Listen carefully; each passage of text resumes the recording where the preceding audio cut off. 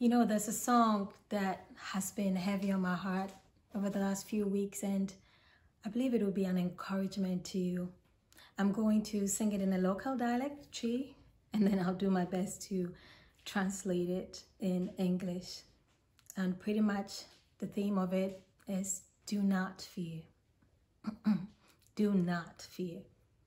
Yesu kawo odi wenim odiwechi yesu kawo wamane husu ewo wabebresimo sasa sieni dani butu pipo tutu kotopumwa mensuro mensuro. Okaye hum da. Yesu kaon odiwe nim odiwe chi. Yesu kaon wamano husu ewa wamani humwo. Sasa sieni dani butu pipo tutu kotopumwa mensuro mensuro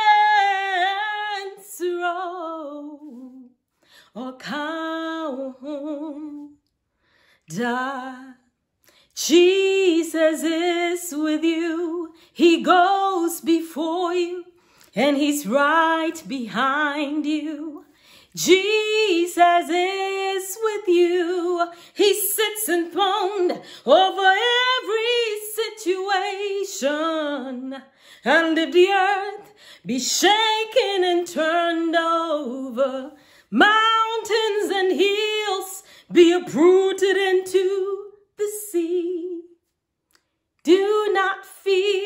no, no, no, no. Do not fear. He is with you. Yes, He is. Let me say it one more time. Jesus is with you.